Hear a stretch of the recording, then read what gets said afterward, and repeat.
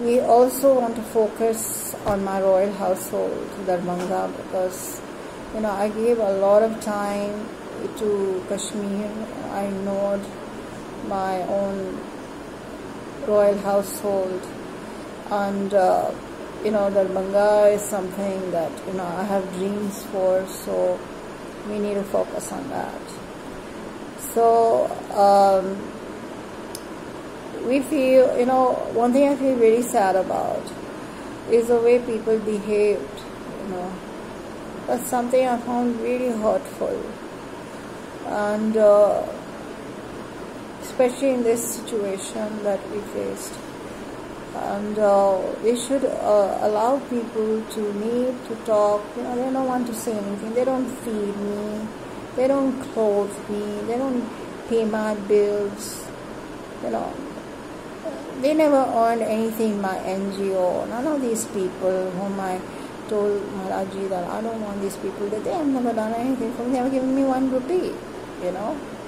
So they only wanted to take from me. That was all they're waiting there to grab. So I um, am very just, I just said, okay, that's the human nature. They ignore it. Whatsoever man sows shall he reap. Um, so even in my maternal side, you know, I had a nice board. You know, I believe the law of attraction, and you know, my spiritual guy told me, "You just write what you want," and you know, it was painted in gold, write in red, and he said, "Soak it in oil." You know, I'll pray over it and you know, voila, that's how one of the reasons why God worked. But they robbed me of the of the board. You know, there was stuff I wrote. Uh, you know, if I I'm a very I'm a polyphasic person. You know, there's some my mind is you know works very fast, very quick pace, and you know the things that have happened to me in the last few one and a half years, I almost thought I won't make it, but the way God healed me and the way God restored me in every way has given me a lot of hope. And um, my, uh, you know, my even my maternal family don't understand what is to walk by faith at all. Everything is measured in terms of money. And my parental home, my parents made a mistake, and that was they chose money over the anointing, and that spirit operates in their house. That's why I said I don't want them in the picture. So that we hate them or we look down on them. But that greedy spirit will take over. And then, you know, we'll be left, we don't want to be left high and dry anymore. That will not happen. So to prevent any kind of confrontation or hurt or distress or being stranded, because, you know, many times they took my money from my NGO and they didn't give me back and different stories. So today I just between them and me, my mom, Mazat I put the bloodline. And I, I want the bloodline to stand with me. And I ask for a cherubim.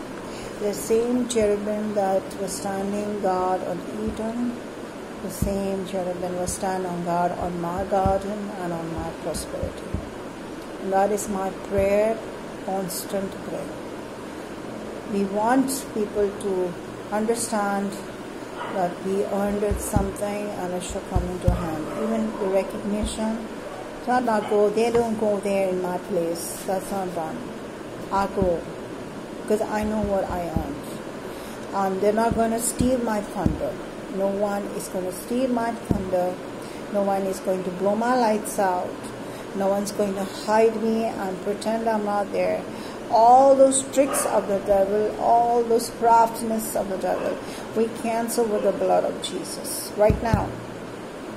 And we rebuke Satan right away that he has no authority in our lives ever. All the acts of this, and I'm sure Bushy Sheikh was at the bottom of this, this horrible thing whoever, and they were used by these people to find out, poke into my life, find out how money, all these kind of things. So I want all of them, even this Udedas, this Salgabi group, all of them, Lord, the blood of Jesus is between me and them, and on my properties also. So So, whatever is God given, we receive it in the mighty name of Jesus and the blood of the Lamb. Our names are written on it for Jesus Christ. So, this is what I want to express. And uh, I think it's very important that people, you know, understand the lineage, the authority, the order uh, has to be understood, placed in your life, in the right direction, and then you know we can go forward in life. And no touching my money. I think there has to be a place where people have to stop doing that. No way she can touch my money because I got a cherubim standing there and if she ever ever tries to touch my God will break her hand. Whoever it is. God will vindicate for me and, and it's written in Psalm 37 He will vindicate for me in such a manner. They will not be able to do it and He will mess up their plans, everything and he will remove them from that place where they're sitting, where they're trying to do, where they, what they're using, he will remove that. The power of God is amazing. When you read the Bible, you will see what a powerful God he is. You know, Christians don't understand that. Uh, he is not limited by, you know, this kind of praying the voice of God. No, no, no, no. That's a lie from the of hell. That's because the pastor is robbing the congregation. That's why he said that. But a real man of God will preach about how we can bring out demons out of people, how we can set people free, how we can bind all those demons, preach about spiritual warfare. That is a right man of God. From the Word of God, not his own fangled ideas. So I am becoming more and more clear about who God is. I spent a lot of time reading and studying, and I hope to do my PhD also. Um, I just thank God for that, releasing that in my life in the blood of Jesus. Uh, someone with a fake PhD, you know, from external affairs. I know, first and foremost, a PhD should always come from a university, never from anywhere else. So because they recognize your work and your you know contribution to development, knowledge, understanding. It should come from the right place. So that's what I believe.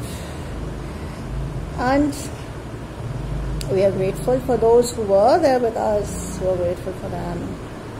But we want to move on. I think uh, we can't circulate like this. And I feel like, you know, waiting for we're not doing this because of the money but you know i'm doing this because i want to clear my name i think it's really important that people understand the kind of person i am you know i'm not somebody who can walk all over me say anything over my head call me something behind my back well, that's all very slanderous dirty things to do to somebody and also to just you know, I don't know how they had access to Maharaj Karan Singh. That's something I could not understand. How in the world did this family get that close? And what was their access and what was their point of access? I just want to destroy it in the blood of Jesus. I want to block that access in the mighty name of Jesus and the blood of the Lamb. Never, ever. Never ever. Nobody will access my contacts in, in this world or the next because you know you need to respect somebody else's things respect somebody else's relationships and respect who they are. I do that for everyone. I'm not intimidated by anybody. I always respect those who are senior to me in this world.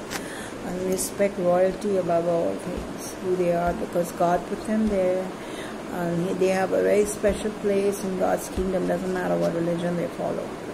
They are kings.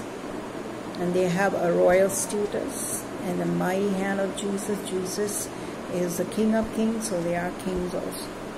We have to respect them. We are never ever to disrespect them. I have never ever belittled anyone in my whole life. I don't like somebody doing it to me, I will never do it to somebody. I believe that uh, you should love the Lord your God with all of your heart and love your neighbor as yourself. That means do unto others what you have them do to you. I really believe in that mantra And in my sleeping, in my waking, be anybody, be it my maid, be it my anyone, I'll never do it, make somebody feel small. That's a very mean thing to do. And if anyone has done that, and quoting me like this very, uh, I have never said that to anybody. I've never belittled anyone. I know they have some weaknesses, but I'll never ever belittle anybody. Ever. That is not my place at all. And never have I mocked at anyone. I think the Bible says, you know, you should never mock anybody, never make fun of somebody. It's a very wicked thing to do. It, it shows a mean and small mentality. I should never listen to anybody who talks like that. Never. The minute they try to convey that, you should just say, Stop right there. I don't want to hear that. Sorry. Please get out of my house. No, I don't allow anyone to talk to me like that about anybody. You know, however bad they may be or whatever, but I don't entertain that. I just, I live a life uh, I don't want all that negativity in my life. I don't want to hear it. You know? So you please understand these things. This is who I am. And I just wish well for everybody. And I hope I have cleared the air of any single doubt. I think it was very sad that I was one sided, but anyway, I tried my very best. And I think we would like to, you know, give some space also because, you know, we've been going over this I find it very tiring. I'm very exhausted over this whole thing. And I can't, you know, last few years I just suffered too much mental anguish where I know I was carrying an accusation which I never did. I was paid me to pay for something I never did. I was tortured and persecuted for something I never did. You know, so for what I believe, maybe I don't know. But I never tortured anybody for what they believe may not agree with my lifestyle, but I've accepted people for who they are. I think that's fair and square in the world that we live today. We are not living in the you know 18th century, uh, like some uh, 15th century, or where people just attack one another, or the Ottoman Empire or something. This is a world that has evolved in understanding, in wisdom, human rights, all these things. So should uh, see to it and be liberated, you know. Don't get angry with somebody because, you know, they don't read or accept or something. They like to. I mean, you can send a book, read, you know, shared knowledge, no problem. They'll read it. But, you know, I, I had no money, you know, to go and buy a book. I had to sit in bookstores because if I wanted to find out, I would sit in a bookstore, read a book or I would go online and read. I, I like information, so I would read. But you know, if I had the money, my house would be just a book library from top to bottom. I love history. One of the, my favorite subjects is history. I read up on the Jerusalem's uh, history, Arabic history, the lovely book. Didn't have the money, I would have started, read the whole thing, could not read. So this thick book there are so many books. I'm not into this, you know, who stole, stole my chicken soup and all. That. I can't.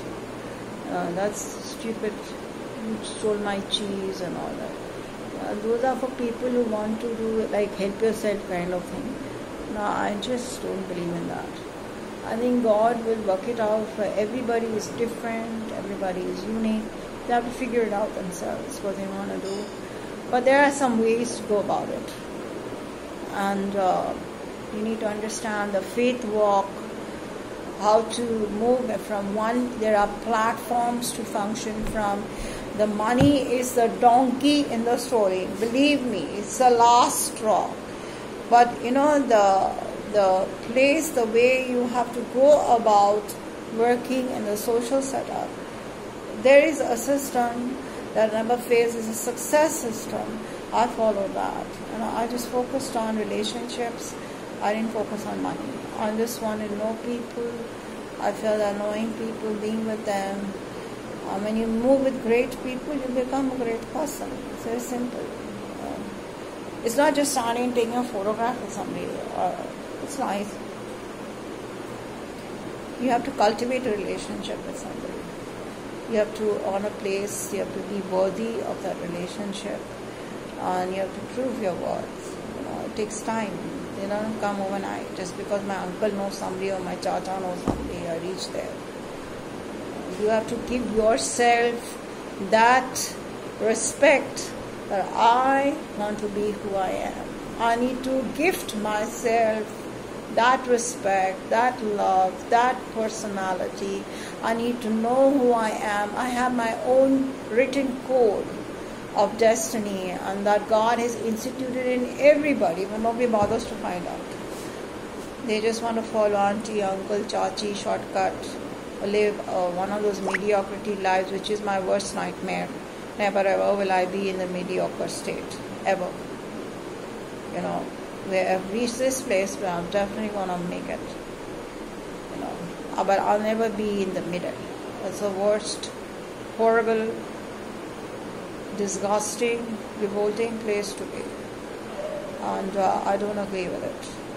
I'm okay where I am now. I think this is a great place because it will change my the day the, the whole tables were turned in my favor. Everything. So, because you know, I'm patient before God. I never deprived anyone. I never hated anybody or anything.